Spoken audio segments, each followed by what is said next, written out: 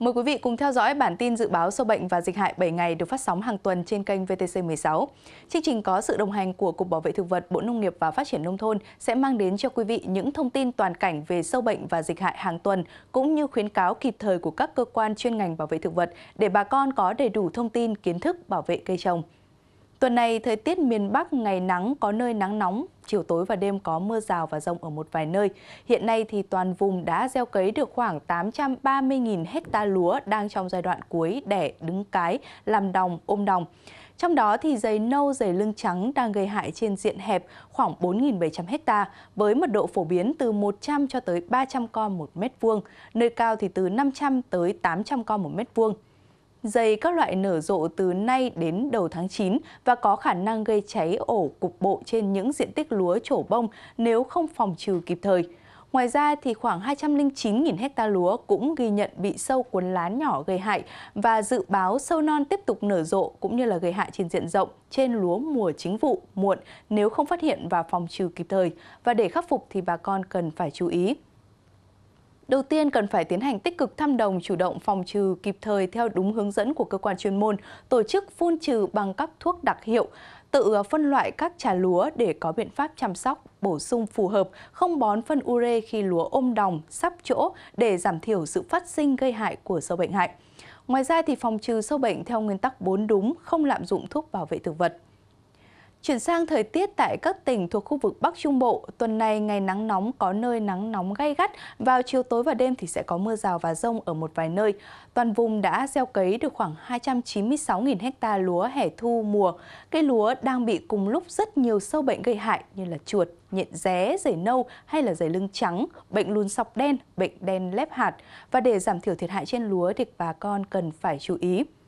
Đầu tiên thì cần phải tiến hành diệt chuột trên lúa vụ hè thu mùa, ưu tiên biện pháp thủ công và sử dụng các chế phẩm sinh học. Bám sát đồng ruộng, phòng trừ tốt các đối tượng dịch hại theo khuyến cáo của cơ quan chuyên ngành bảo vệ thực vật tại địa phương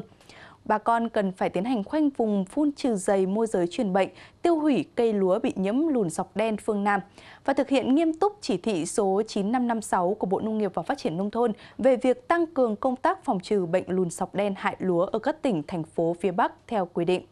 Bên cạnh đó thì có khoảng 500 ha trên tổng số 105.000 ha cây thông đang bị sâu gióm gây hại. Bà con cần phải theo dõi chặt chẽ những diện tích đã bị sâu gióm thông gây hại và tiến hành phun trừ những diện tích sâu gióm thông có mật độ gây hại cao theo hướng dẫn của cơ quan chuyên ngành bảo vệ thực vật tại địa phương. Tiếp theo thì sẽ chuyển sang khu vực thời tiết tại vùng Duyên Hải Nam Trung Bộ và Tây Nguyên. Thời tiết tại đây ngày có nắng gián đoạn, phổ biến có mưa rào và rông rải rác, tập trung về chiều tối và đêm. Cục bộ có mưa vừa, mưa to. Diện tích trồng sầu riêng trong vùng đạt khoảng 55.000 ha và đang trong giai đoạn thu hoạch. Toàn vùng ghi nhận có khoảng 2.600 ha sầu riêng nhiễm bệnh nứt thân xì mủ trong điều kiện thời tiết nắng mưa xen kẽ như hiện nay thì nông dân cần phải chú ý tiến hành thăm vườn phát hiện bệnh, chủ động phòng trừ bệnh nứt thân xì mù theo quy trình kỹ thuật quản lý bệnh Phytophthora hại sầu riêng do Cục Bảo vệ Thực vật ban hành.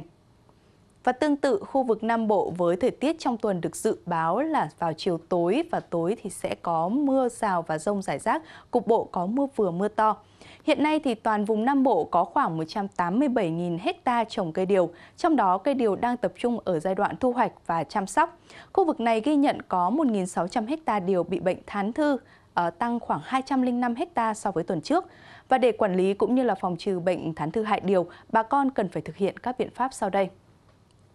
tiến hành tỉa cành tạo tán cho cây, thu gom và tiêu hủy các cành lá, trái bị bệnh để tránh lây lan, không bón quá nhiều phân đạm, tăng phân kali và thời kỳ cây điều ra đọt non, trồi hoa và quả non. Chỉ sử dụng thuốc bảo vệ thực vật trong danh mục được phép sử dụng do Bộ Nông nghiệp và Phát triển Nông thôn ban hành hàng năm để trừ bệnh thán thư và phải thực hiện theo nguyên tắc 4 đúng. Lưu ý là trong trường hợp bệnh thán thư phát triển mạnh kết hợp gặp điều kiện ẩm độ cao, sương mù nhiều, tiến hành phun thuốc bảo vệ thực vật để phòng trừ bệnh. Bà con cũng nên phun thuốc vào buổi sáng sớm hoặc chiều mát để tránh ảnh hưởng đến quá trình ra hoa thụ phấn của cây. Bản tin dự báo sâu bệnh và dịch hại 7 ngày của kênh VTC16 đến đây là hết. Cảm ơn Cục Bảo vệ Thực vật đã đồng hành cùng chương trình. Hẹn gặp lại quý vị vào giờ này tuần sau.